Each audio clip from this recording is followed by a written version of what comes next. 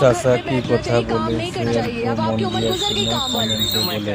जब तक ज़िंदा है वो काम करेगा तो खाएगा ना।